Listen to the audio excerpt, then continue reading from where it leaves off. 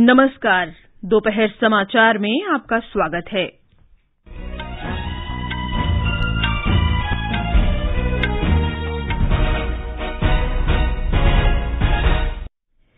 राष्ट्र आज चौहत्तरवां गणतंत्र दिवस मना रहा है। नई दिल्ली में कर्तव्य पथ पर भव्य परेड में देश की सैन्य क्षमता और सांस्कृतिक विविधता का शानदार प्रदर्शन किया गया। परेड में भारतीय वायुसेना ने रोमांचक फ्लाई पास्ट किया राज्यों केंद्र शासित प्रदेशों और विदेशों में भारतीय दूतावासों से भी गणतंत्र दिवस मनाए जाने के समाचार। गणतंत्र दिवस समारोहों के उपलक्ष्य में छह दिन का भारत पर्व आज से दिल्ली के लाल किला परिसर में शुरू हो रहा है।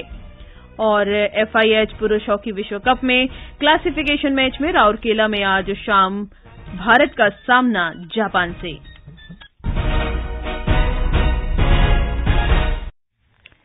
दोपहर समाचार के साथ मैं जागृति शर्मा। राष्ट्र आज चौहत्तरवां गणतंत्र दिवस मना रहा है। इस अवसर पर मुख्य समारोह नई दिल्ली में कर्तव्य पथ पर आयोजित किया गया। राष्ट्रपति द्रौपदी मुर्मू ने गणतंत्र दिवस आयोजनों में देश का नेतृत्व किया। इस वर्ष की परेड में मुख्य अतिथि मिस्र के राष्ट्रपति अब्देल फतेह अल सीसी थे। परेड आज सुबह राष्ट्रीय समर स्मारक पर प्रधानमंत्री नरेंद्र मोदी की पुष्पांजलि के साथ प्रारंभ हुई। राष्ट्रीय ध्वज फहराने के बाद राष्ट्रगान हुआ और 105 एमएम की स्वदेशी फ़ील्ड बंदूकों से 21 तोपों की सलामी दी गई। ये रक्षा क्षेत्र में भारत की बढ़ती आत्मनिर्भरता का प्रतीक है। परेड की शुरुआत राष्ट्रपति के सलामी लेने के साथ हुई। परेड में थल सेना का नेतृत्व इकसठ घुड़सवार दस्ते, नौ मैकेनाइज्ड कॉलम और छह मार्चिंग सैन्य दल ने किया। परेड में स्वदेश में विकसित अर्जुन टैंक, नाग मिसाइल प्रणाली के नाइन वज्र हॉबिट्जर तोप और आकाश शस्त्र प्रणाली का प्रदर्शन किया गया। वायुसेना की मार्चिंग टुकड़ी में चार अधिकारी और एक सौ चवालीस योद्धा शामिल थे। नौसेना की टुकड़ी में एक सौ चवालीस युवा सैनिक शामिल और इसका नेतृत्व महिला अधिकारी, लेफ्टिनेंट कमांडर दिशा अमरीट ने किया। पहली बार तीन महिलाओं और छह अग्निवीरों ने भी परेड में हिस्सा लिया। तटरक्षक, केंद्रीय रिज़र्व पुलिस बल, रेलवे संरक्षण बल, दिल्ली पुलिस, एनसीसी और एनएसएस की भी भागीदारी रही। पहली बार सीमा सुरक्षा बल की महिला ऊँट सवारों ने परेड में सहभागिता की। अंतर्राष्ट्रीय मोटा अनाज वर्ष को समर्पित भारतीय कृषि अनुसंधान परिषद की झांकी परेड का विशेष आकर्षण का केंद्र रही। प्रधानमंत्री राष्ट्रीय बाल पुरस्कार विजेता भी परेड में उपस्थित रहे। परेड के अंत में फ्लाईपास्ट में वायुसेना और नौसेना के 45 विमानों और थल सेना के चार हेलीकॉप्टरों ने शानदार करतब दिखाए एक रिपोर्ट। गणतंत्र दिवस समारोह के अवसर पर आयोजित परेड में राष्ट्र की सैन्य क्षमता, सांस्कृतिक विविधता, आत्मनिर्भरता, नारी सशक्तिकरण और नए भारत के उदय का प्रदर्शन किया गया।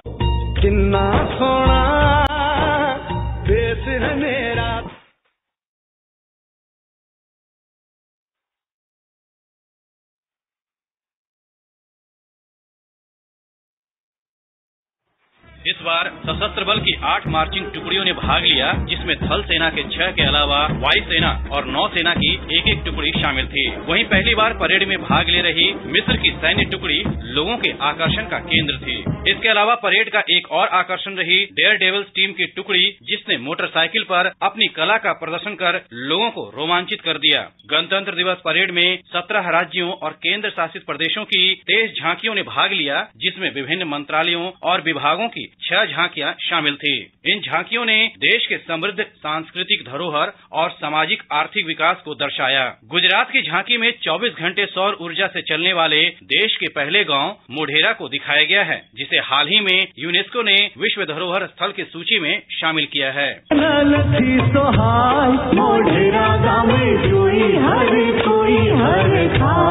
गुजरात माहे, सोलर नो जय जय थाय वहीं देवभूमि, उत्तराखंड की झांकी में प्रसिद्ध छोलिया नृत्य के साथ कॉर्बेट नेशनल पार्क को दिखाया गया है।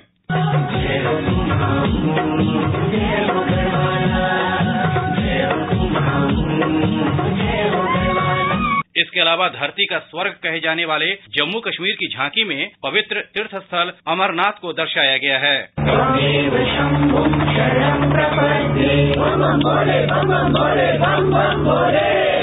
शम्भुं शरणं प्रपद्ये बम भोले बम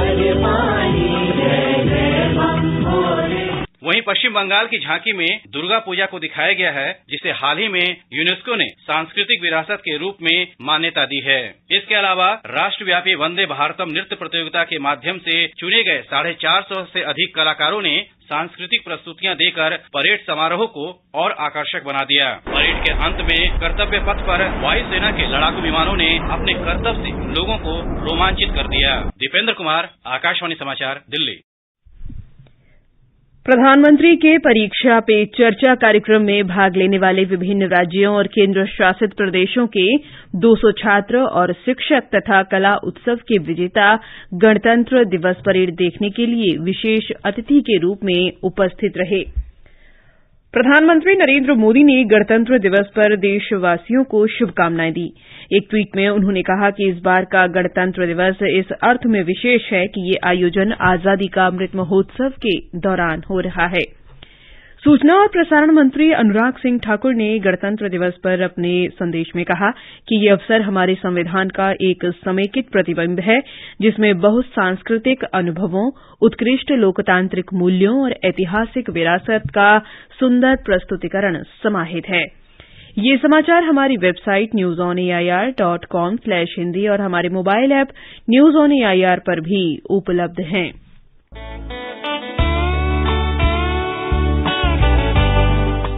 Northeast Diary program broadcast every Thursday at 5:30 p.m. brings very interesting and enchanting stories from the eight Indian states of Northeast India. In this week's Northeast Diary, on 26th of January, we bring you an exclusive interview on the subject of paddy procurement in Assam with Diganta Das, Managing Director, Assam Food and Civil Supply Corporation. Looking forward to seeing you there.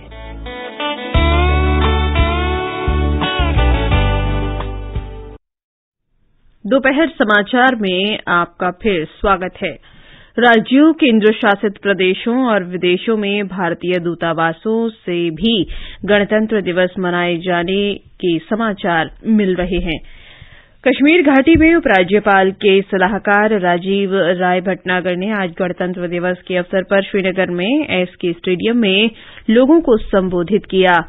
उन्होंने कहा कि पिछले तीन वर्षों में राज्य में विकास, शांति और प्रगति के नए युग का सूत्रपात हुआ है। लद्दाख में करगिल में गणतंत्र दिवस देशभक्ति के जज्बे के साथ मनाया गया। लद्दाख स्वायत्त पर्वतीय विकास परिषद के मुख्य कार्यकारी पार्षद फिरोज अहमद खान ने राष्ट्रीय ध्वज फहराया और मार्च पास्ट की सलामी ली। उत्तर प्रदेश के मुख्यमंत्री योगी आदित्यनाथ ने इस अवसर पर अपने संदेश में लोगों से राष्ट्र प्रथम को ध्यान में रखते हुए अपना काम ईमानदारी से करने की अपील की। लखनऊ में अपने आवास पर उन्होंने ध्वजारोहण किया। बाद में मुख्यमंत्री विधानसभा भवन में गणतंत्र दिवस परेड में शामिल हुए। ब्यौरा हमारे संवाददाता से। प्रदेश की राज्यपाल आनंदीबेन पटेल ने राजभवन में तिरंगा फहराया और बाद में लखनऊ में हुई गणतंत्र दिवस की परेड की सलामी ली। इस कार्यक्रम में प्रदेश के मुख्यमंत्री योगी आदित्यनाथ भी उपस्थित रहे। साफ़ सफ़ाई महिला सुरक्षा और अन्य सामाजिक संदेशों को बयां करती खूबसूरत झांकियों ने लोगों का मन मोह लिया। राज्य भर में आज इस मौके पर सुरक्षा के कड़े इंतज़ाम किए गए थे। सुशील चंद्र तिवारी, आकाशवाणी समाचार, लखनऊ। छत्तीसगढ़ में मुख्य समारोह राजधानी रायपुर के पुलिस परेड ग्राउंड में आयोजित किया गया। राज्यपाल अनुसुईया उइके ने राष्ट्रीय ध्वज फहराया और प्रदेशवासियों को संबोधित किया। मुख्यमंत्री भूपेश बघेल ने बस्तर के संभागीय मुख्यालय जगदलपुर के लालबाग मैदान में ध्वजारोहण किया। ओडिशा में राज्यपाल प्रोफेसर गणेशी लाल ने राष्ट्रीय ध्वज फहराया और भुवनेश्वर में आयोजित समारोह में परेड की सलामी ली। प्रदेश में मुख्य समारोह राजधानी ईटानगर के आईजी पार्क में किया गया। मुख्यमंत्री पेमा खांडू ने राष्ट्रीय ध्वज फहराया। एनसीसी कैडेट्स, स्काउट्स और गाइड्स तथा स्कूल के बच्चों ने मार्च पास्ट में हिस्सा लिया। श्रीलंका में राजधानी कोलंबो स्थित भारतीय उच्चायोग सहित देश में भारत के सभी राजनयिक कार्यालयों में गणतंत्र दिवस मनाया जा रहा है। आज सुबह श्रीलंका में भारत के उच्चायुक्त गोपाल बागले ने आईपीकेएफ स्मारक पर पुष्पांजलि अर्पित की। श्री बागले ने कोलंबो में इंडिया हाउस में राष्ट्रीय ध्वज फहराया। गणतंत्र दिवस समारोह के अंतर्गत आज से इकतीस जनवरी तक दिल्ली के लाल किले में छह दिवसीय मेगा इवेंट भारत पर्व का आयोजन किया जा रहा है। इस दौरान गणतंत्र दिवस परेड की कुछ बेहतरीन झांकियाँ दिखाई जाएँगी। इसके अलावा क्षेत्रीय सांस्कृतिक केंद्रों के साथ साथ राज्यों और केन्द्र शासित प्रदेशों के सांस्कृतिक मंडलों द्वारा सांस्कृतिक प्रदर्शन, पैंसठ हस्तकला स्टॉल के साथ एक अखिल भारतीय फ़ूड कोर्ट और शिल्प बाज़ार का भी आयोजन किया जाएगा। राष्ट्रपति द्रौपदी मुर्मू ने कहा है कि जी ट्वेंटी की अध्यक्षता भारत के लिए बेहतर विश्व और बेहतर भविष्य के लिए लोकतंत्र और बहुपक्षीयता को बढ़ावा देने का अवसर है। गणतंत्र दिवस की पूर्व संध्या पर कल राष्ट्र के नाम संबोधन में राष्ट्रपति ने कहा कि जी ट्वेंटी वैश्विक चुनौतियों पर विमर्श और इसके समाधान तलाशने का एक आदर्श मंच है। राष्ट्रपति ने कहा कि जलवायु परिवर्तन से निपटने के लिए उभरती अर्थव्यवस्था को विकसित राष्ट्रों के तकनीकी सहयोग की आवश्यकता है। सुश्री मुर्मू ने विकास और पर्यावरण के बीच संतुलन साधने की आवश्यकता पर बल दिया। राष्ट्रपति ने शासन में सुधार के लिए सरकार के हाल के प्रयासों, लोगों के जीवन और सर्वोदय मिशन की उपलब्धियों की सराहना की।